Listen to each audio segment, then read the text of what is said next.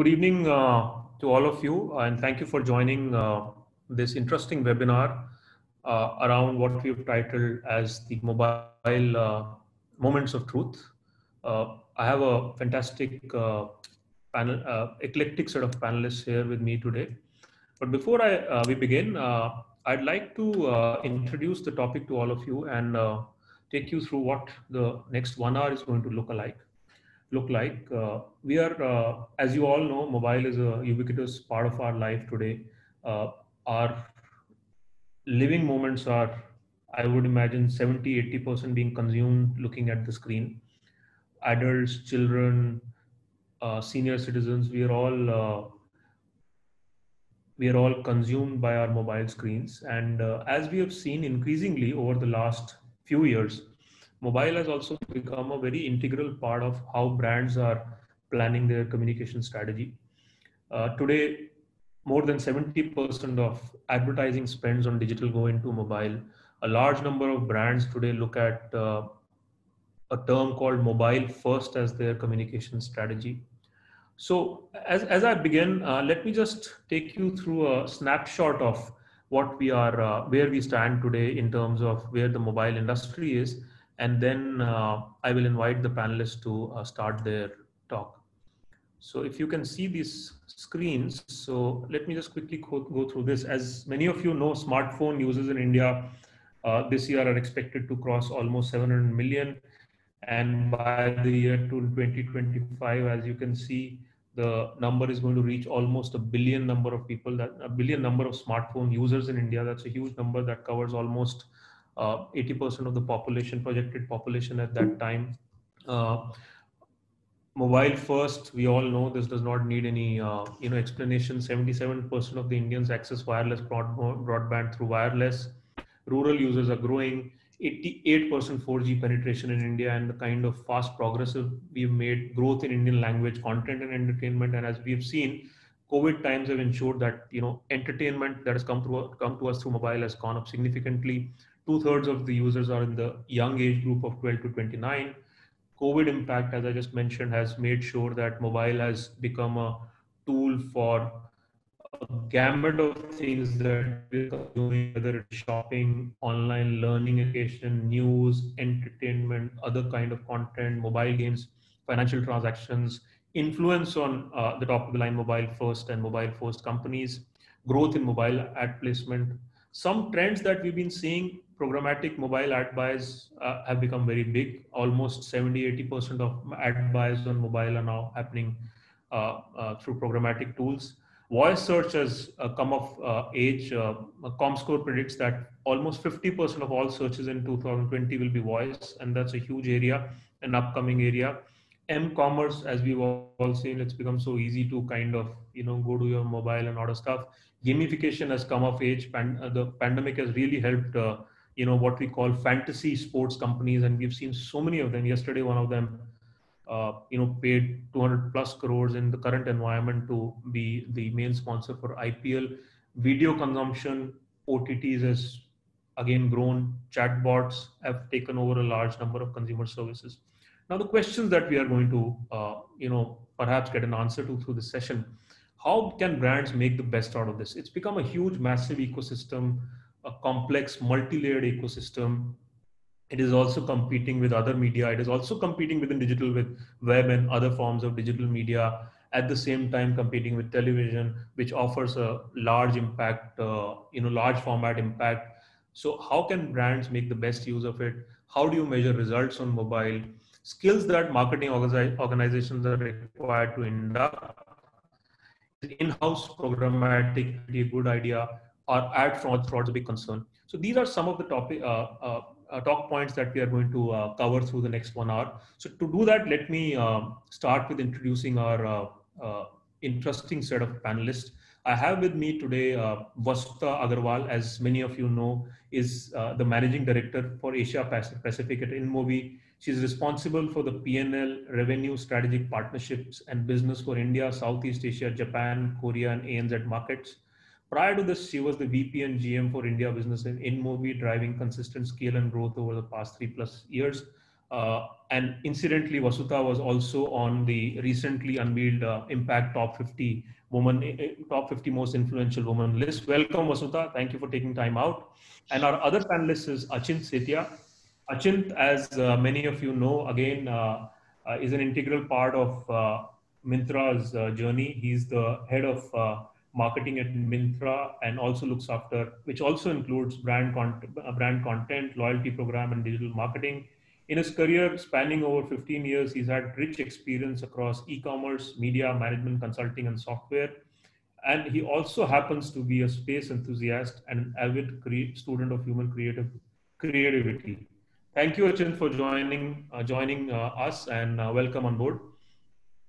So uh, let's start with you, Vasudha. Uh, uh, since we are talking about mobile marketing, mobile moments of truth, and uh, InMobi has been in this space for a for a you know pretty long period of time, and you guys have done a lot of work in that. Why don't you take us through some of the learnings that InMobi has had in this arena?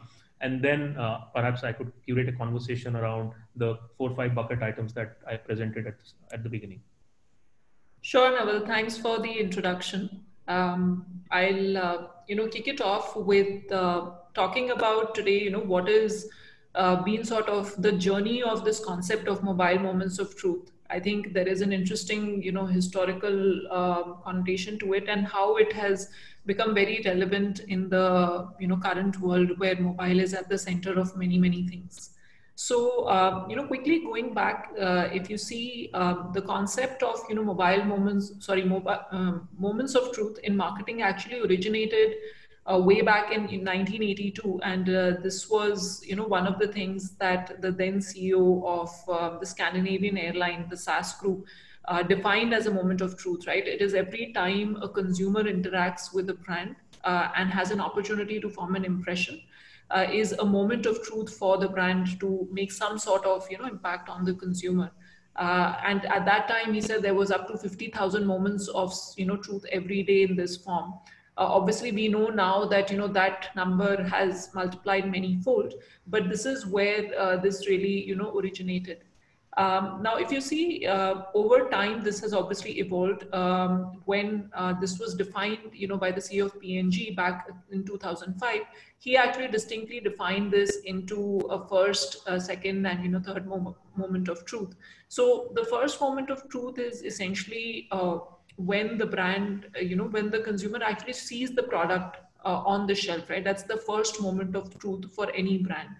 Uh, the second moment is when they've actually made a purchase decision and experienced the product, right? So that's the second moment of truth per se. And finally, or the ultimate moment of truth comes when they start using the product or experiencing it uh, and they actually start sharing feedback or even advocating the product right so that's how the moment of truth journey um, has you know evolved or been defined for a consumer uh, interestingly, as we moved into the digital age, uh, Google actually coined this term called the zero moment of truth, which is even before the consumer sees the product on the shelf.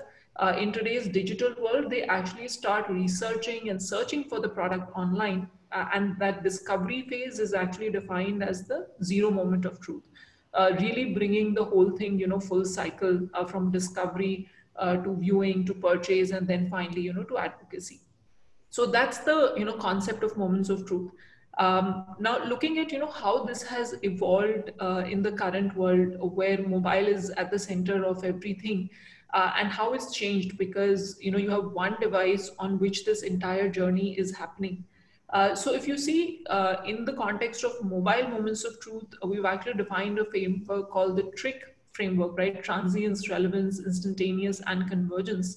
Uh, and I'll share, you know, how um, this becomes relevant in the context of mobile moments of truth. So the first one, which is, you know, transience uh, is an important one because if you see on mobile, this journey of different moments of truth is often not linear, right? Like it was in the physical world. There is a lot of back and forth uh, which happens between you know the different moments of truth. Because let's say if i want to buy a laptop right uh, i might research the product get feedback and reviews look at ratings right go to a website compare price points compare different models right? So a lot of those different moments are actually happening in a very you know um, transient way from one stage to another. And in the middle i might go visit a store look at the product and then come back and you know buy it online so that entire journey has become extremely transient when it comes to uh, mobile as a platform. Similarly, if you look at relevance, right? Um, I mean, all of us know the amount of information available on our fingertips today is overwhelming, right? So making that information very, very relevant and targeted becomes important from the brand's perspective. Uh, so, for example, if I'm out looking for a car loan today, uh, for me, any information related to, say, you know, uh, a personal loan or mutual funds or a bank account, even though these are all financial products, is irrelevant because I'm looking for a car loan at that point of time, right? So relevance and personalization of the information again becomes very critical when it comes to mobile moments of truth, right? Uh, to sort of uh, be able to reach the consumer in the uh, right frame of mind. Um, then the instantaneous aspect of mobile, right? Uh, again, here, if you see, uh, we've gotten used to instant gratification when it comes to mobile, whether it is ordering food or you know getting a cab, watching a video, right, looking at a recipe, anything at all. Everything yeah. is instantaneous. Everything is you know about convenience, right? And mobile has completely changed that game again when it comes to interaction with brands. Uh, and finally, the point around convergence, right, is that how all of these different moments that we talked about just, you know, uh, a while back are literally colliding on mobile, right? Because you're researching, discovering, yes. buying, giving feedback all at the same time, all the time, right, on mobile. And transacting also. Exactly, right. So uh, so that's how you know mobile has really changed um, this whole concept of you know moments of truth and the journey of a consumer, uh, and therefore made it all the more important uh, for you know brands and marketers to um, look at this journey in a different way. So so that was a little bit. Yeah. So sure. This, this journey is understood. Uh, if I can interject and ask you a couple of things, both both of you. Uh, mobile and digital per se, a lot of the uh, you know marketing and advertising that is happening on digital is uh, you know very specifically what we call uh, you know result driven, and it is uh, possible to map the results, map the consumer journey, and do that. Whereas what brands also need to do is, uh, especially in times like these COVID times, is to do desire driven marketing right? You need to create the larger desire. Unless and unless unless until you do that, you're only fulfilling a kind of you know immediate essential need, so to say. So my first question to both of you is that how does a mobile platform, beyond being a, a you know very specific result-driven uh, platform, also help you uh, you know become a desire-driven platform because uh, for brands, as I said, even in especially in a slowdown uh, uh, environment, it is an extremely important thing. I mean, yesterday we saw you know what happened with IPL bidding. Those brands are you know not sponsoring IPL to just uh, look at you know specific ROI of how many people actually came on. They are they are making a big splash on a you know big platform. Uh, so, you have any thoughts on that? Achin, uh, why don't why don't you tell us something? Yeah, Naval, it's a good question. Uh, in fact, I touch upon that, uh, you know, in the example I share on Myntra, on um, thinking about engaging consumers in the exploration and the discovery phase uh, early on, you know, and how you start building perception and, uh, you know, prime them for the right behaviors you need at the time when the result-oriented phase or the, uh, you know, the, the lower down the funnel conversion phase comes. So, uh, see, the good news is mobile is a platform which people spend most time on uh, today, you know, for each of their needs. And uh, to think of mobile as one thing uh, is not probably correct. Uh, it's many things uh, encompassed in a in a small, you know, power pack device. Yeah. Uh, and power pack, power pack platform, if I may say that.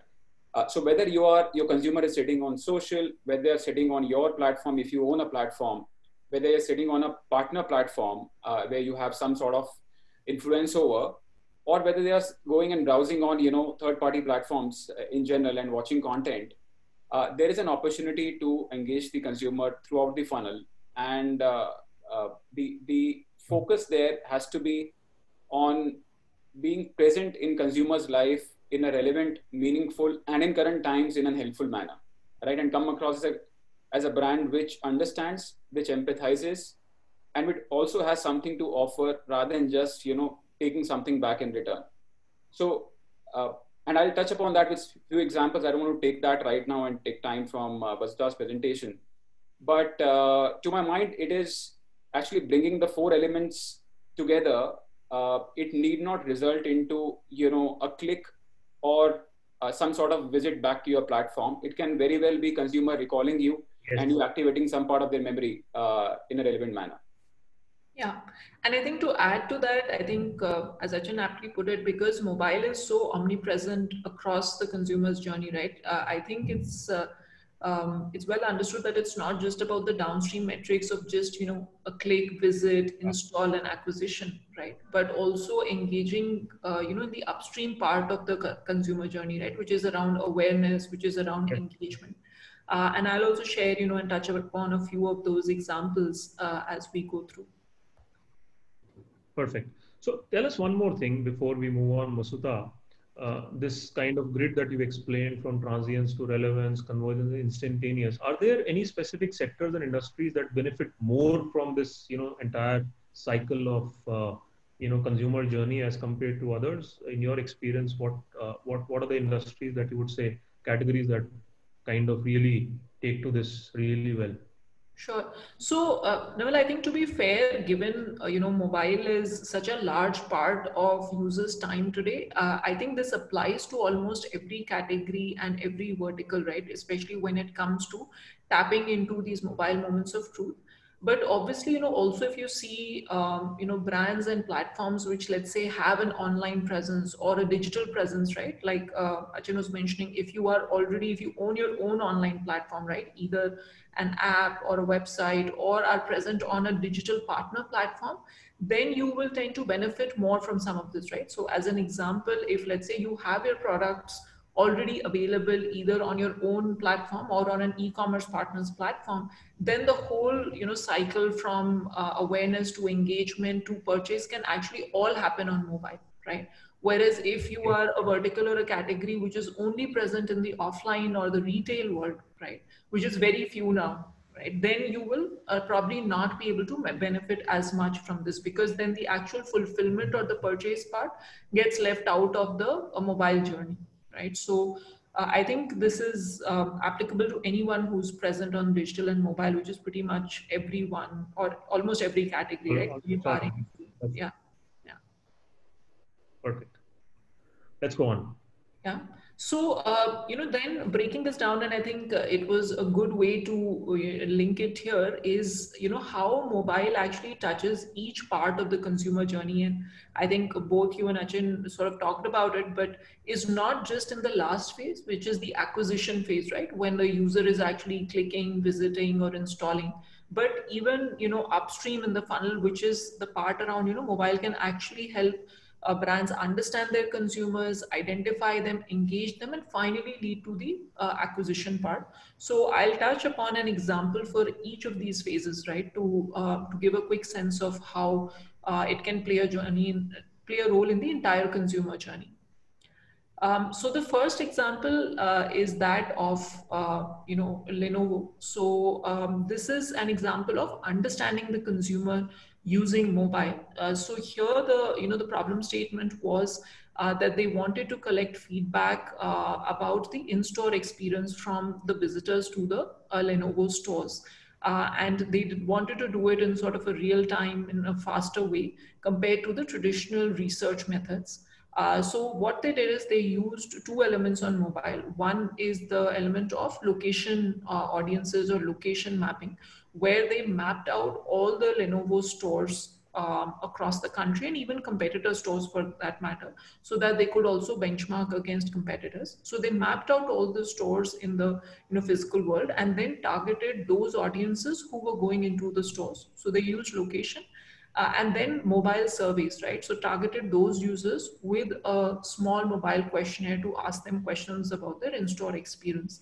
Uh, and what this did is that, you know, something which would take them, you know, say a couple of months, they were able to bring that down to a couple of weeks and, you know, collect results almost four times faster to understand what their consumers were saying about the in-store experience uh, vis-a-vis some of the competition. Uh, and the other aspect was that they could also, you know, of course, here target not just uh, the customers, but use other demographic profiles of their audiences also to target the customers and understand uh, what they were saying. So this was an interesting way in which Lenovo uh, leveraged mobile to uh, understand consumers, right? The first part of sort of the consumer journey. Um, the second one uh, here is an example of identifying uh, your consumers. So this is uh, from Dove, and this is actually an example from Indonesia, uh, where Dove uh, was uh, trying to, you know, reach out to women consumers across Indonesia and Jakarta. and what they were running is sort of, you know, they launched a campaign called My Hair, My Say campaign, which was to inspire women to embrace, you know, their real selves. Uh, and make them more confident about you know their appearances especially about their hairstyles and you know expressing their true selves. So uh, what they went about doing was that here uh, they try to identify different women consumers, uh, combining you know things like of course age group, but also you know uh, where they work, how they travel, what kind of apps do they consume, what kind of videos do they watch, right? So different kind of basically women from young females to millennial to Gen X and so on. Uh, and once they identified these consumers, they were able to reach out to them in a very personalized, you know, way with the right content, right, which would appeal to these different segments. Uh, and the goal was to get each of these segments then to share, you know, uh, videos and stories about themselves, you know, about how they would want to express their uh, themselves. Uh, and this was pretty successful in the way that, you know, they managed to reach almost more than 2 million women uh, through this and identify the right uh, consumer segments through this uh, and actually get more than 2000 of them to share you know their stories and photos and videos uh, through social yeah. media as a channel so again a very interesting use of mobile to identify uh, consumers but it's very interesting you know if you look at the contrast between the first uh, case study about lenovo versus the dove and that kind of also tells you the the you know uh, the depth of mobile as a medium for a brand or a marketer. In the first case, you had a brand collecting specific inputs through a survey from people who have visited their stores. And the second one is more about curating content and engaging the same consumer, so to say. I mean, yeah, yeah, uh, absolutely. Uh, and you know, as we have seen increasingly over the last few years, content has become such a such a critical and important part of uh, you know any brand's journey and uh, uh, you know I, I remember over the weekend i was uh, reading this book uh, which is the autobiography of uh, disney's current ceo bob Iger and in 2005 when he took over the uh, position of, of, ceo he, he explains presenting to the board at that time how original content and disney has always been a content company is going to drive original content along with technology are the uh, going to be the two driving forces for the company. And today you see so many brands adopting the same strategy you know uh, 14 15 years down the line you have large tech digital platforms brands doing that. But tell me i mean uh, do you see a, a, kind of line getting crossed somewhere where you know when you're doing content uh, on mobile content marketing what are the and everybody is doing it right? Uh, everybody is almost everybody is doing it if i if i dare say that. What are the three four uh, areas that you've seen where brands are slipping up where uh, you know things that we should not be doing brands should not be doing but they're doing it just because you know everybody is doing it and they believe that's the right right thing to do we all know what are the that it should be done and why it should be done but a lot of the brands are not getting it right why do you think they're not getting it right and what can they do to get it right Vasudha? Sure. So um, I think you know keeping uh, the important thing is to keep in mind mobile as a medium, right, and what uh, sort of it allows for, right. So I think one is of course looking at content which is relevant is important, but it should be relevant in a way that you know it is also not say um, spooky, right? That uh, you know I feel oh how did I sort of you know see this? So I think there is a balance of things like you know uh, the extent of personalization, the extent of targeting, you know, that one can do uh, to make it balanced so that the user doesn't feel that, you know, their privacy is being sort of, you know, taken for granted or their data is being taken away. So I think it needs to be done with the right balance in that way. Uh, I think the other is also, you know, making it, uh, while it's personalized, also making it, you know informative for the user right? Because it should not just be about your product or you know about your brand but if it also brings some value to the user then that content is obviously more you know valued in that way because it also is informing the user uh, and bringing something in return right? So i mean those are two things top of the mind which i think yeah. good brands uh, keep in mind while you know uh, designing their content. Achint, you'd like to add to that Sure. I think, uh, you know, just to build on what Vasudha was saying, um, uh, I would say brands who do this well um, start from the brand story and the brand purpose uh, of why they would want to do content. Yeah. There is a lot of content clutter. Um, it's unlimited for the consumer, but how does it fit in how your consumers perceive you on what is your role to play in their life? I think that that linkage with content that you create is very important. Yes uh, there are three purposes of content, right? It is to entertain, or it is to engage, what we see with Dove here, or it is to educate, right? I think if if brands are very clear on the objectives that they desire from each of these uh, different campaigns that they do on content, uh, and make content aligned to that objective, uh, things are much better than otherwise. So, for example, uh, a lot of my peers, when I chat with them, um, the first question comes is, okay, how are you using content to drive revenue on Myntra, right?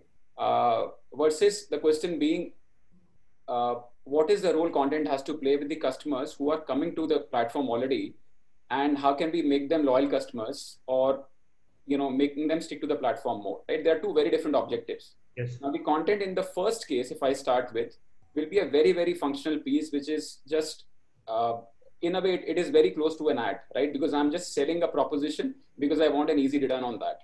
More often than not you know it'll uh, be compared with anything else i do on a pure play ad. And then over a period of time it will fall apart because it will not get to that level of roi and is not that level of engagement when it comes to you know engaging content. So so that that middle path is what people should avoid. When engagement is the criteria i think the form could be extremely different right? Depending on uh, whether you have a platform or whether you're doing it on social, um, there are many, many innovations that we have been seeing of late. And uh, every brand has their own story to tell, you know, through their consumers. Um, so, so that I think I would uh, be the, those are the first things I would keep in mind on start with the objective, start with the alignment with the brand story and uh, make sure over a period of time, if this is an area that gives you competitive advantage in talking to your customers, then build IPs which you can own and you know make them bigger over a period of time. They're doing a lot of small you know uh, uh, things here and there which are cheap and cheerful for only moments. Yeah, I think one of the big uh, lessons that I have seen in the content marketing arena is about committing to it over a time period because there are too many brands who are just you know dipping their feet and getting out and in many cases it's just become a you know hashtag marketing you do a campaign you launch a hashtag and then you get out and consumers forget about it.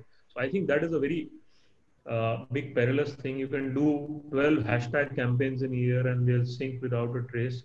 So committing to uh, a campaign and investing in iprs as you said is extremely important for brands to understand. Yes, yeah, and, and, you know the reason it falls apart in a lot of companies because when you know these conversations happens happen in the boardroom, it is because people have not aligned to the why we are doing it. Yes. Right. We started with you know winning some awards. In some cases, we started doing it you know to just uh, put our money behind a property which is already popular. Uh, and and getting some you know short term rebuff on that, or we started because you know an opportunity came along the way and we did it, or because everybody is doing it. It's or because you know yeah there is a peer pressure of of being there, right? So so that I think conversation is very important, uh, and it's good to spend time on that and decide. Therefore, the content that will meet that objective. Yes.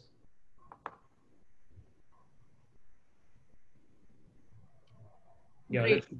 so so yeah so i think continuing uh, on that thread and also you know the next example i think links well to the uh, part Naval that you were talking about earlier right that uh, it's not just about uh, that roi or that you know revenue generation when it comes to a mobile but also how do you do the desire based marketing right so this is an interesting one from uh, Mondelez uh, they uh, recently had launched their a new product, uh, Cadbury Choco Bakes, uh, in you know the chocolate uh, sort of uh, choco bakery segment. Uh, and uh, what they were looking to do is do some interesting things around videos, right, using mobile videos. Um, so this is an example of an interactive video where what we did is we created this and here the user basically doesn't know initially when they you know get in you know as to what is it that is behind this. So uh, it's it's sort of you can say like a game where they're trying to you know put together the pieces of the chocolate and see what happens. Uh, and so it, it creates that anticipation. It creates you know that thing in the mind of the user when they're interacting with this video um, and then uh, once they've sort of come together it reveals you know the choco bake product uh, along with the video uh, and the interesting part here is that there is also a full journey to purchase which happens or fulfillment where this takes uh, you to the e-commerce page uh, yeah. to buy the product, right? So basically from creating that anticipation uh, to, you know, that reveal of the product, which you would see typically otherwise on a shelf, uh, and then buying it, right? So those sort of three moments uh, coming together for the consumer in a very short span of time on mobile, right? So this is an example of that um, from the uh, Mondelez side of things. Yeah. Um, this is a very different example, and I thought you know it'll be a good contrast because um, you know that was about an online purchase, and this one is Manyavar, which I think most of you would know is a fashion retail brand. Um, they did a very interesting thing where they used multiple you know moments across the consumer journey. So um, obviously, they've been using different mediums. So this is from you know before uh, the COVID times where they were also doing out of home advertising.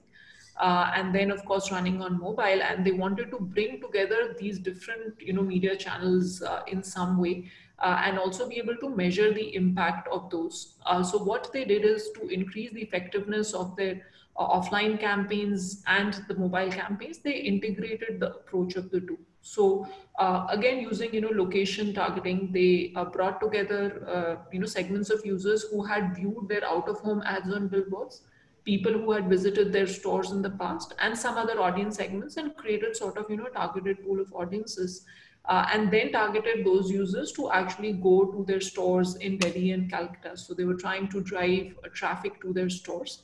Um, and then they measured it by, you know, looking at users who had only seen a mobile ad or only seen a billboard ad vis-a-vis users who had seen both ads, right? So to measure what was the effectiveness when people saw both ads in the offline and in the mobile world.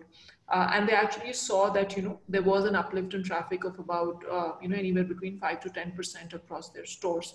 So this was an interesting one because this is not just about a mobile uh, device and the platform you know strategy on that, but bringing together also the offline uh, media and creating an integrated uh, approach as an example for engagement and acquisition. So that's very interesting, and I, I I have a you know view uh, to seek from both of you on this.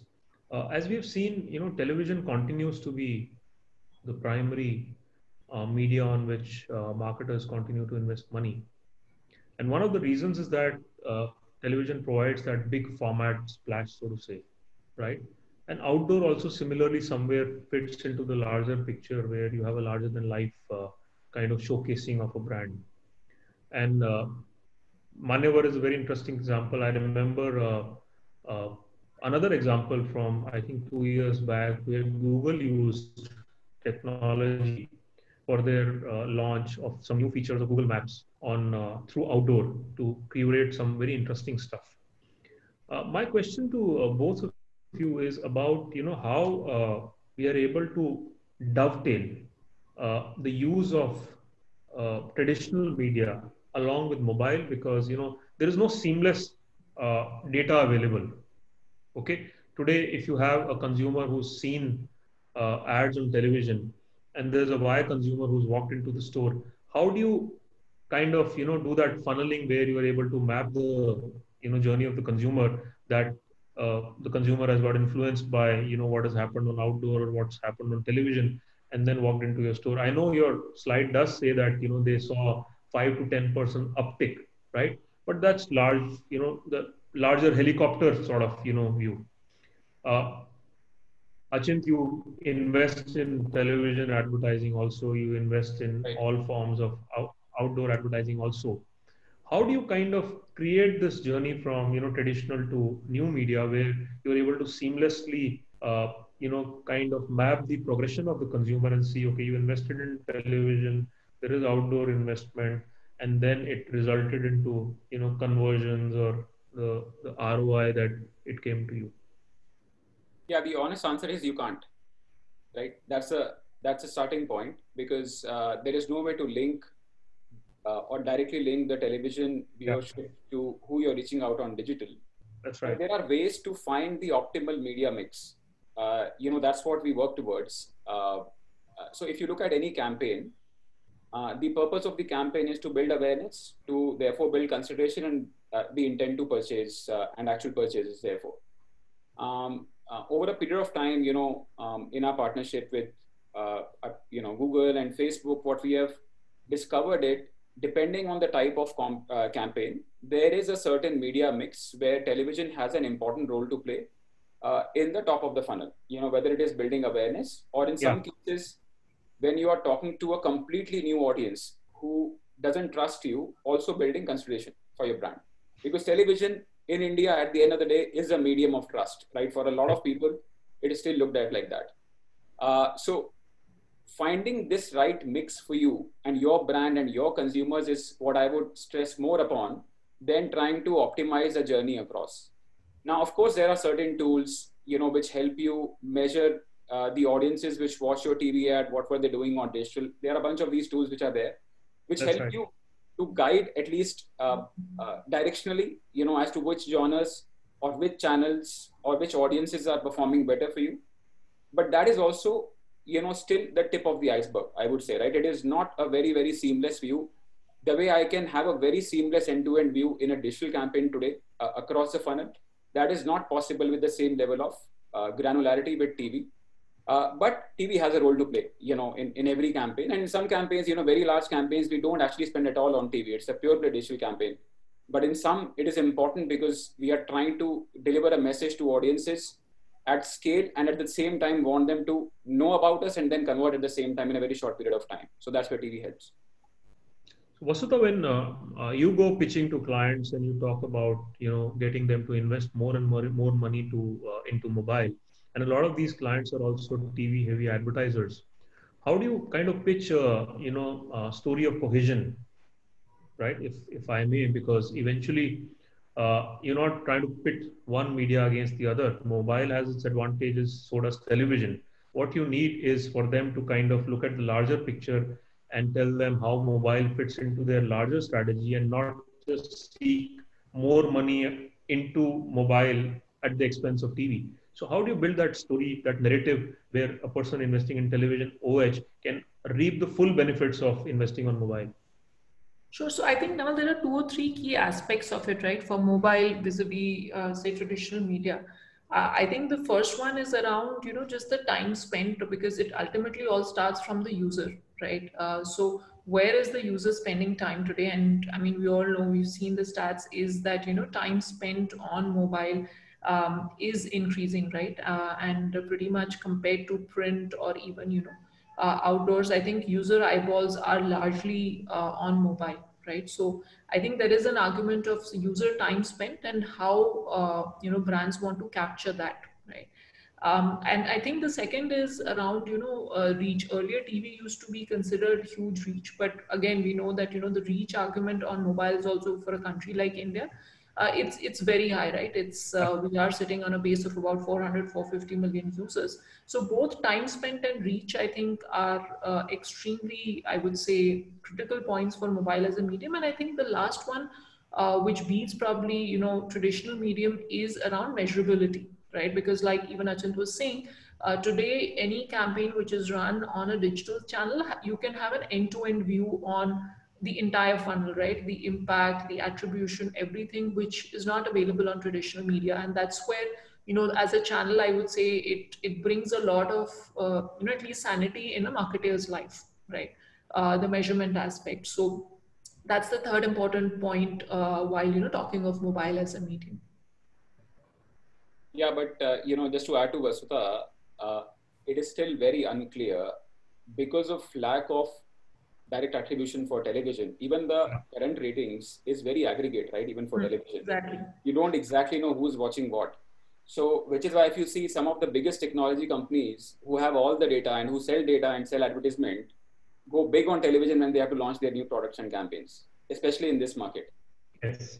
Right. So so there is yes, there is significant reach of mobile and you know, especially for a very targeted cohort for smaller campaigns, you don't need to go beyond that and optimize with your uh, targeted uh, cohorts. Yeah. But uh, when you have to think of scale campaigns, you know, there is a very clear role that the mass media plays. Uh, it's, yeah. it's, it's, it's, a, it's a factor of, you know, uh, the kind of audience and your objectives uh, in that uh, context. That's correct. Yes. So I think, as I said, you know, yeah. 220 crores for IPL uh, at such a short notice. I mean, they are they know what they are signing on. Yeah. So I think, of course, I'm not saying that you know TV or other medium doesn't have a role to play. Uh, it was more around how you know you would pitch mobile into the overall medium mix. Yes. Yeah yeah great. You, I think you have one more example to go.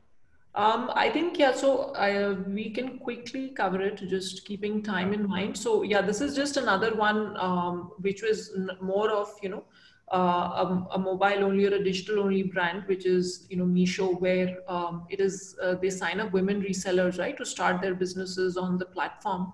Um, so this is a fairly um, you know simple one in that way where uh, they wanted to target women from tier two, tier three cities uh, across the country. Uh, and again, you know, looking at elements around, you know, how do you reach them at the peak time in the mornings? Uh, how do you reach people in, you know, tier two, tier three cities?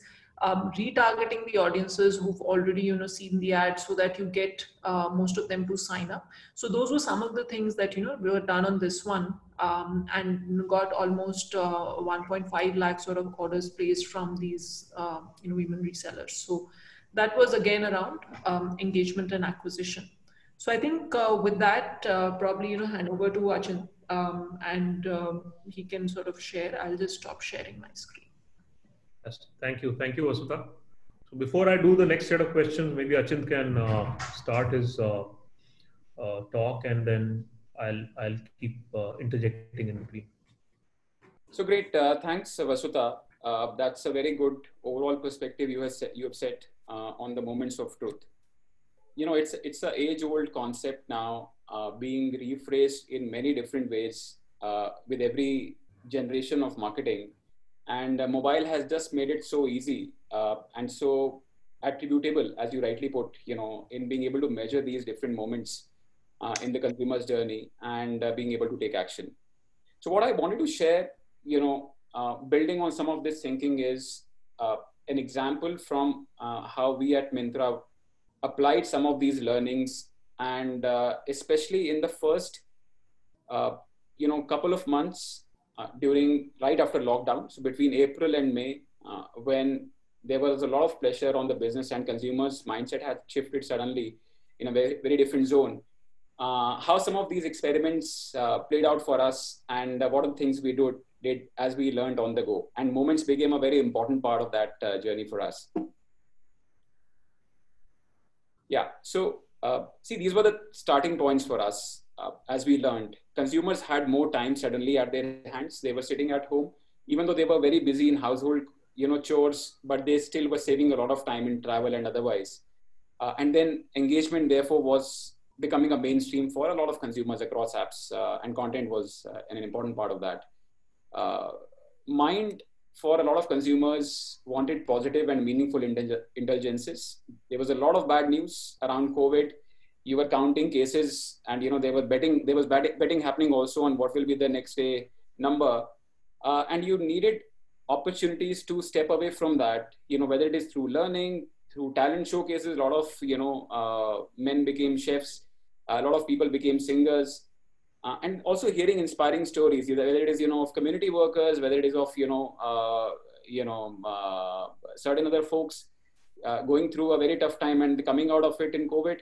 I think it was that piece consumers were looking forward to uh, very very keenly, and of course, lastly, money was under pressure, and you know saving your wallet was very very important for consumers yeah. and particularly for you know uh, sectors like fashion where we operate uh, uh, which partly is also called as discretionary category uh, there was enough and more pressure and very little demand right? especially in the first uh, few weeks uh, and of course lockdown didn't allow us to deliver to consumers anyways so so this was the context for us and the one thing we realized is if there is one thing we can do is to be empathetic to our consumers. I think it's it's a tough time for everybody. People are losing jobs. People are not people are not safe. So uh, how can we come across as a brand, as a platform which adds value to consumers in this time? And when the time comes, I think consumers will come back uh, at some point soon. But how do we get this time to pass through? So this is where the entire thinking started. And uh, uh on the first one, you know, the engagement piece, uh, was the first thing we tried to crack. Now, um, uh, Myntra in the last couple of years has been investing in a lot of content um, and engagement initiatives anyways. And uh, fortunately for us, at this time, we had the opportunity to bring a lot of that together. And also because we had a machinery with us on content creation, we were able to bring out a lot of new formats and converted the entire Myntra app into a fashion content destination, right? So uh, even though our number of users and traffic fell significantly, it never went down to a very small number. There was a significant, you know, healthy number where people continuously came to Myntra app. And what they saw was nothing about commerce or shopping. It was about learning about fashion from the best in the industry, which is where we had the bunch of these master classes, uh, which were paid earlier or you know in a way paid through points which is our loyalty program but we made it free for all consumers we had this uh, ip Myntra fashion superstar which we again brought alive because a lot of consumers had not consumed it before uh, and this is an eight episode you know binging we yeah. uh, provided them and then a lot of games because gaming was the other sector which was picking up very well and a lot of casual games around fashion around building appreciation for you know these delivery heroes and so on which we brought alive on the platform and the last thing is, you know, everyone was talking about fitness, you know, working out from home. So we have this feature called Myntra Move, uh, where you can actually get points for the number of steps you take. So we encourage people to, you know, walk in their homes or, you know, do their exercise and, you know, get benefits out of it. So, so some of these initiatives which helped us, uh, you know, drive um, engagement with the consumers on a regular basis. Uh, then I think uh, in April, mid of April, we launched uh, another feature, which was Myntra Studio. Now, the idea behind this was, uh, again, to build on the concept of learning. Uh, today, as the country stands, right, a majority of population is still very, very early in their maturity journey on understanding fashion. Uh, most of the influence of uh, in fashion happens through you know the film industry whether it is bollywood tollywood any of the film industries right? We look up to stars for fashion inspiration. But the nuances of fashion in terms of the colors the you know what goes well with the body shape or skin tones uh, what are the trends i think there is there are only very few set of consumers who understand that nuances well and we thought why not bring this alive for our consumers? Uh, going back to you know what Vasudha was talking about in the early part of the you know engagement and discovery journey how do you make yourself useful to the consumer? And also Naval, to your point this is not about being able to sell them anything. It is about you know giving them an opportunity to learn uh, opportunity to get inspired. And if you are impulsive there is an opportunity to shop every look that is available because it is a commerce platform at the end of the day of course no shopping was happening that time so people were just wish listing for later but uh, that was the underlying thought so if you have your personal fashion assistant, then that is what Myntra Studio was. We got in a lot of influencers, you know, hundreds of influencers who signed up with us during this period. We put our exclusive shows uh, around fashion on this, a lot of celebrity gossip across the world coming on this. And we suddenly saw that, you know, um, all kinds of consumers started to engage with this. So typically you would assume, you know, there is a certain category of, you know, metro tier one consumer who likes yeah. some of this content, but the engagement from tier two, tier three consumers was far more, uh, or, or, you know, higher than some of the metro consumers. The uh, kind of content people were consuming was also very counterintuitive at times, right? Again, you know, uh, people were looking at a lot of occasion wear, which uh, actually they were not shopping for but they were probably in getting inspired for what they may want when good times come back. So we got a lot of these learnings, which helped us think about how do we target these consumers, you know, later when we go, uh, you know, with our campaigns when uh, things open up. So that was the second piece. Uh, the third piece was, you know, around finding those interesting moments where consumers find them, uh, you know, during the COVID period, and seeing if we can create some meaningful engagement around this. So you see a few examples here, right? Uh, everybody was quarantined at home with their kids. And for the first time, you know, you were actually sitting and working in front of your kids. Uh, you were there for them throughout the, throughout the period. And they had a point of view. They, were, they couldn't go out to play. They couldn't go out to their school. So there was a point of view kids were developing on what does COVID mean to us. So we brought that alive. We had a lot of, uh, you know, stories shared by the Myntra employees on what's happening with their kids daily uh, uh, content that went on for almost a month, month and a half, and really liked by our uh, audiences. And we've got a lot of responses from them also on what's happening with their kids and their homes. Uh, the other interesting piece is, you know, to build some positivity uh, on, on what's happening around. Uh, fashion is also a category which actually is, you know, at, at, you know, sits at a very important juncture of culture defining moments.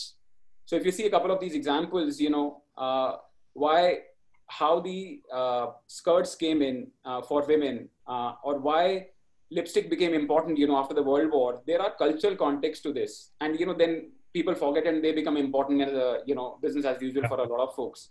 So we brought these stories alive. And for a, for a lot of people who didn't look at fashion that way, it started to become interesting to read more about it and engage more about it, you know, on things that they may not have seen before.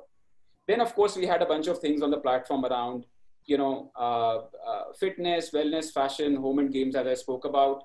We took a lot of our employees who shared their stories on fashion, how they are using this time to get more uh, or enhance their skill sets and using fa- uh, using fashion therapy as a way to come out of this situation, uh, the, the depressing situation we were in. Uh, that was something that our audiences really appreciated. This Tell me, staying on if yeah. I can ask you uh, interject yes. here, uh, it's very interesting. One of the key uh, aspects, advantages of uh, mobile as a tool, especially for marketers, has been this ability to personalize, right? Yeah. Because you know a lot about you know what your cons- consumer is doing, and personalization then leads into kind of two uh, funnels, if I can put it that way. Uh, you want to personalize and at the same time do mass level targeting right and these two are very difficult balls to juggle. You know they don't necessarily you know go together personalization and mass targeting. And personalization also at some point starts you know crossing the red line of you know privacy concerns. Sure. So how do you kind of you know look at uh, these two kind of items uh, if you have any thoughts on that? No i think uh, see personalization um, the, the, the ideal personalization is when consumer doesn't even realize that uh, the yes. platform is helping them think and find things which they always wanted to. Uh, which is why the best recommendation engines are the ones where the consumer choice is secondary and you know the recommended choice becomes a primary uh, mode of consumption. Um, so, so the way we look at personalization, I think there are a lot of nuances uh, to that when you talk about from a technical standpoint but uh, at a very high level uh, you know even being able to figure out uh, you know at a very i would say uber set of parameters in terms of if you're a fashion user for example and you are shopping from your app for yourself or for yourself and some of your family members the personalization answer could be very different um, so what we do is we after every uh, sort of uh, purchase, we ask people, uh, who did you shop for? Was it for yourself, your, your wife, your kids, or someone else in the family? so that that is one area we get you know clear signals from consumers as to uh, whether I really like this or I bought it for someone else. Second, basis your uh, past purchases, uh, basis your you know brand preferences, basis your type of styles, type of price points that you browse, that you wish list, and then eventually that you convert on that you buy. There are a lot of signals that come, uh, which helps us at least showcase the right set of things when consumer comes yeah. to the platform. Um, I think when it comes to the privacy, uh, uh, first of all, we don't get any, you know, private information from the consumer which we need to use to be able to showcase anything to them, right? Most of the information is generic and aggregated to a certain cohort level. It is not at an individual level uh, from a preferences standpoint. When we talk about mass campaigns, I think uh, there the objective, of course, is to talk about uh, common themes that resonate with most of the audiences. Uh, and that is largely off the platform, or let's say the first few banners of the homepage when you are on a platform. But when you go into your deeper journeys on the app or on the platform, I think personalization then takes over and makes it relevant for you. If that helps answer your question, Naval. Yes. Yeah. Yeah. So this was the other thing I think which uh, was a new innovation from our creative team, which was uh, pick up different moments that people are in, you know, during the quarantine period, and you know, create interesting Myntra doodles and uh, whether it is thanking the social uh, or community workers or the pride month or you know just learning something interesting at home or fitness did a series of these uh, and every day when you opened the app you had something new to see and engage with which was fun for a lot of consumers at least even if they they don't want to shop uh, there's something to share and talk about. Then on the 12th of may when uh, the honorable prime minister announced uh, the entire strategy of you know the next big push get out of covid.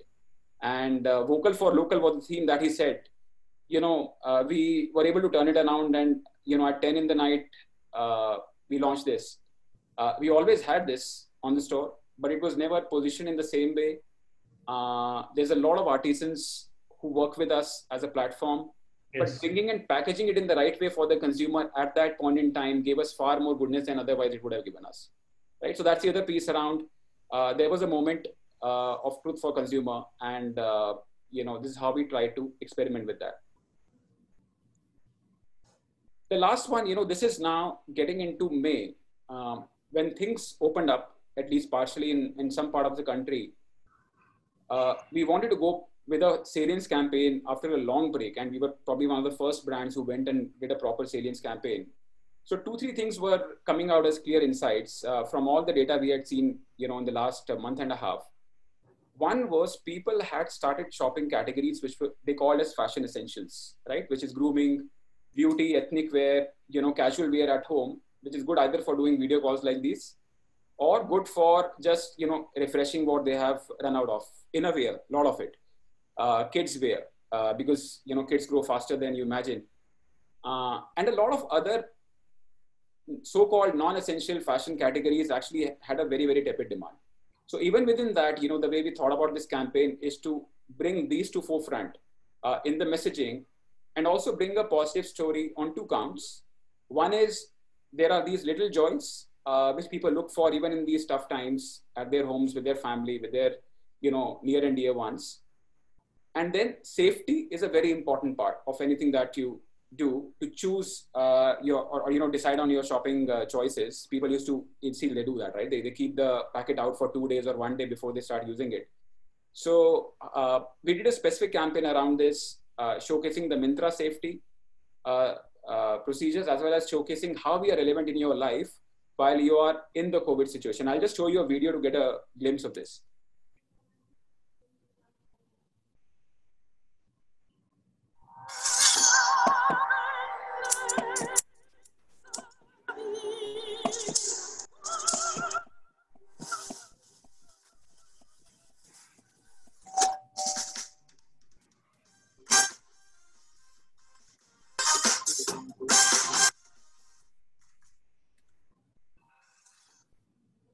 So that was the idea. We did a series of these uh, on men's grooming, on beauty and ethnic.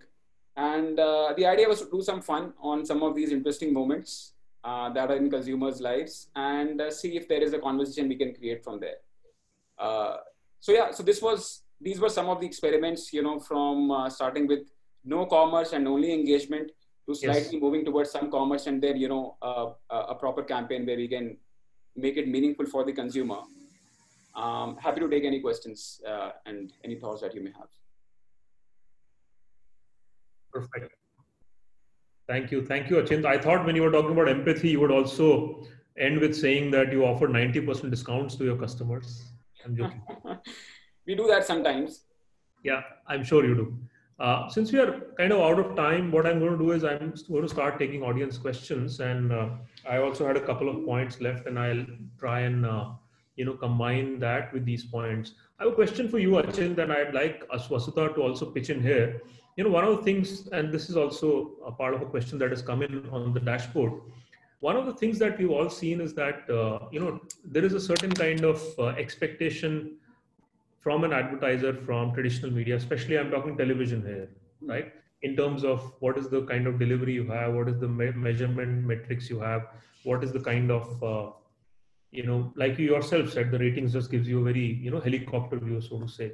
Whereas the expectation when it comes to media like mobile, digital, especially mobile, is far, far more in depth. You need far more insights. You need to drive ROI. You need to, you know, drive uh, significantly many more metrics matrices as compared to what you do on television. Of course, there are advantages of being on TV, but do you feel as a you know brand owner that somewhere the kind of the the the you know it's it's kind of pitted against a mobile uh, in terms of demand for accountability from digital media especially mobile is vastly higher and different from what it is from say traditional media like a television or an outdoor uh, Naval, I didn't get the last part of the question. Can you just uh, Please frame it again for me. So what I'm asking is, when you compare digital media, especially mobile versus traditional media like television and outdoor sure. and outdoor, is the demand for accountability and measurement metrics hmm. far more from digital media as opposed to traditional media? And is it kind of balanced against uh, mobile and in favor of TV and outdoor? Do you seek similar accountability from you know the spends that you do on television and outdoor that you seek from say your spends on mobile or digital? Yeah i mean it, it is a matter of what is available. I think uh, given a choice everyone would want that kind of accountability from uh, non-digital spends also. Uh, i think the industry if i may say has got used to a certain set of benchmarking of the tv spends and the tv outcomes um, which is a lot more convenient than uh, the the way it should be, if you ask me. So uh, uh, you are absolutely right in saying that the pressure on digital to deliver uh, more because the metrics are there is yeah. far higher than the pressure on the non-digital industry. And I think it's just a matter of time if you if you ask me that uh, you know the offline industry will have to evolve and start providing better measurement solutions to brands. And this is a very clear time, right? I mean, if you see this, a lot of brands cut away their TV spends, but this they continue doing something on digital because they were That's able right. to justify the ROI. Yeah, it also creates opportunity for digital. Yes. Correct. So Vasudha, if I were to flip it, does that make you feel aggrieved, and does that uh, give you a opening, an opportunity to kind of you know pull more spends from uh, you know other traditional media?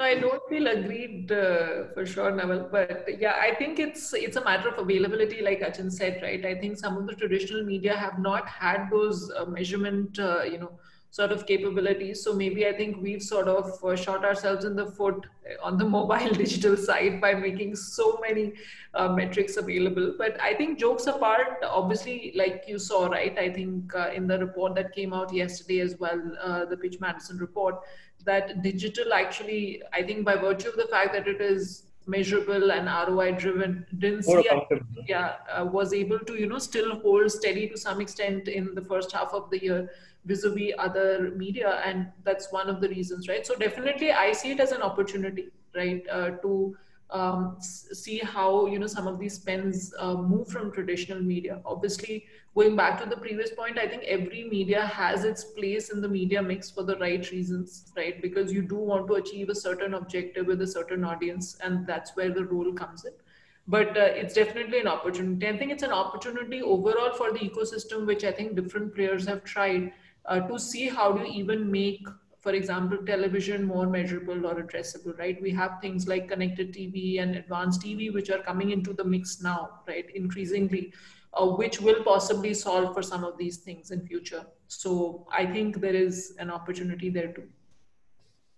So I'll stay with you, Vasudha. Uh, since you uh, since you work with a large number of platforms, uh, one of the key uh, uh, discussion points over the last two three years, and it keeps coming up and you know going down repeatedly is this issue about you know fake traffics bots and you know fake traffic driving uh, you know a lot of conversations on some platforms. How much in your conversation with brands and marketers do you think that has become or is becoming an issue right? And what do you do to address that? You know i jokingly tell you know a lot of times when we do calls you know team calls and i see 30 you know name logos on the screen without seeing the faces i tell them i don't know whether i'm talking to bots or people right? Unless the cameras are switched on. So how much of uh, you know uh, this has become a concern ad fraud has become a concern with marketers and you know what is the way to address that? Because eventually as the size of the mobile pie grows even more accountability will be sought right? Yeah. and i think this this can become a this has potential to become a pain point no, I think it's an important point for sure, Naval. I think it's an absolutely important point because if any brand is spending money, right, they want to be spending it on, um, you know, valid traffic, valid users, uh, and so on. So it's an absolutely critical point, and it is, of course, uh, you know, an important uh, discussion point in a lot of forums today. I think the way to tackle that is one, of course, uh, is now. I mean, as the fraud uh, sort of bot traffic ecosystems at all, there's also a lot of tools which have evolved, right, to provide that measurement and transparency to both platforms and brands, right? Looking at this fraud as to how do you weed that out, how do you block it, how do you tackle that? So there is, of course, that which is available. And I think there is obviously a responsibility on platforms themselves, the kind of policies and verifications and checks that you implement at your end, right? To um, to sort of weed out uh, the traffic which may not be genuine yeah. or which may not be brought which may be bought. So i think there's a responsibility on platforms themselves. And then i think from the brand side obviously there are you know third party tools uh, and partners which can provide sort of that double verification or double check uh, for some of these things. At least those are you know a couple of things uh, which are evolving to you know provide that confidence uh, in the kind of users and traffic um, that you get. Achint does it bother you? Uh, when you're spending money to you know figure out uh, what's going on? Yeah it, it is a concern i think uh, ad frauds is a is a big issue. And uh, we work a lot with our partners to uh, constantly monitor this and continue to prune it. Whether it is you know just traffic uh, or you know the bot clicks or even the fake installs. Um, a lot of time you know we have fake redemptions to uh, you know our uh, loyalty points, which is something we have put a lot of guardrails around. So, I mean, see, it is it is a thing which is part and parcel of living in the current digital world. I don't think, uh, you know, there is beyond a point you should stress get stressed about it. But uh, there, in every uh, digital marketing strategy, I believe this has to be an integral part of the thinking uh, and not be one of the things that you try to solve for once you have taken care of everything else. So that's the way. That's the only suggestion I would have. Perfect. Since we are out of time, I'll take one last question. There's a question from Ritu Mittal. Is going cookieless by big publishers impacting business for marketers, platforms? If yes, how is it being addressed? Vasudha. Sure. So uh, I think, of course, you know, the, this whole cookie ID uh, change, which is slated to happen, it will impact marketers, especially, let's say, you know, anyone who's built a cookie pool uh, to identify target users, right? Some of the things we talked about earlier Um, so because obviously for most people who are operating more on you know the website of things, it is uh, a tough one. But I think uh, if you see, given that there is time for that change, right? There are other user identifiers that you know brands and marketers can build. And I mean, for Achint, of course, because Myntra is a largely, I mean, there's a good part which is an app platform, right? It's possibly easier, but there are app-based identifiers, right? Uh, there are uh, PII-based identifiers which you know platforms have which will possibly pave the way for you know some of this as cookies uh, disappear and some of these other identifiers you know gain traction. So um, i think that's that's one area possibly you know to invest in. Um, there is work around you know cross device graphs where you're trying to map cookie ids to you know uh, other identifiers.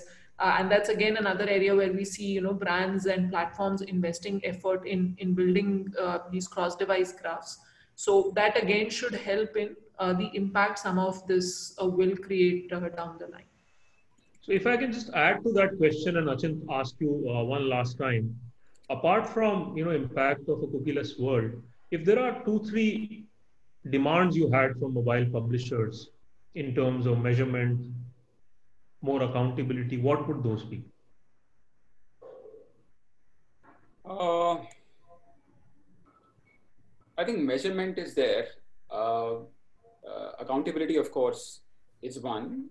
And uh, I would also say, you know, uh, understanding the business of the customer, uh, which in case, let's say, is the brand, you know, is, is extremely important, right? So uh, a lot of times we see partners coming and saying, okay, we have XX reach, uh, we have this kind of engagement, so we are a good platform for you to invest behind.